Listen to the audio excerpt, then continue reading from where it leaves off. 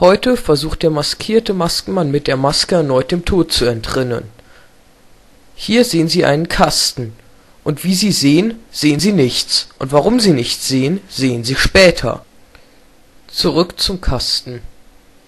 An diesem wird unterdessen die Kamera drumherum fahren und zeigt uns alle Ansichten.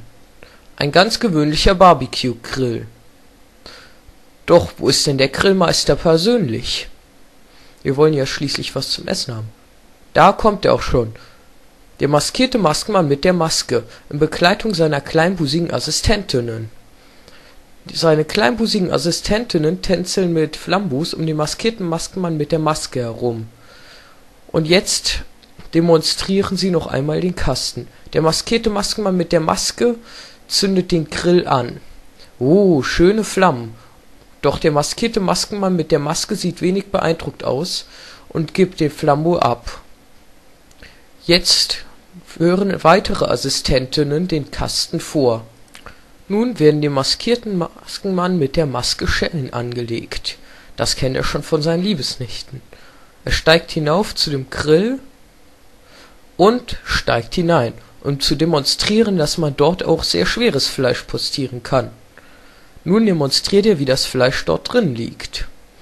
Und ein schwerer Deckel wird auf ihn draufgelegt. Jetzt gibt es zwei Möglichkeiten. A. Er wird gegrillt. Oder B. Er schafft es zu entkommen. Da kommt auch schon eine weitere kleinbusige Assistentin vom maskierten Maskenmann mit der Maske. Die Helferin vom maskierten Maskenmann mit der Maske tänzeln mystisch um den Grill und zünden ihn an. Jetzt wird es aber ziemlich heiß da drin für den maskierten Maskenmann mit der Maske. Der Kasten wird geöffnet und...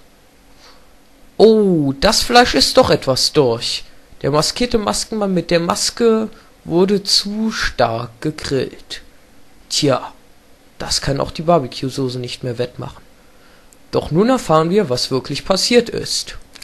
Denn wie üblich bei Zaubertricks ist die einfachste Lösung die ein einfach logische.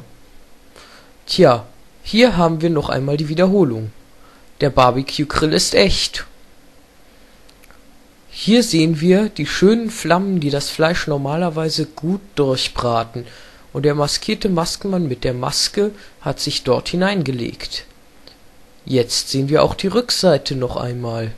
Und dort ein paar zufällig stehende Kisten. Was für ein Zufall. Dort sind Helfer vom maskierten Maskenmann mit der Maske.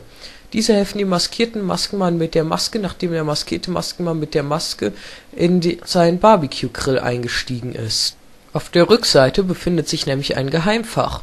Wenn dieses aufgeklappt wird, kann dort eine Leiter durchgeschoben werden, die direkt zum maskierten Maskenmann mit der Maske führt. Hier vorne tänzen wieder seine kleinbusigen Assistentinnen, während in der Zwischenzeit seine männlichen starken Assistenten dem maskierten Maskenmann mit der Maske eine Leiter mit Rollbrett zuschieben, so dass dieser zur Rückseite entfliehen kann. Doch nun fragen wir uns natürlich, was eben verbrannt ist, wenn nicht der Magier. Und die Lösung ist einfach, sein Zwillingsbruder. Hier sehen wir, wie der Gashahn nochmal aufgedreht wurde.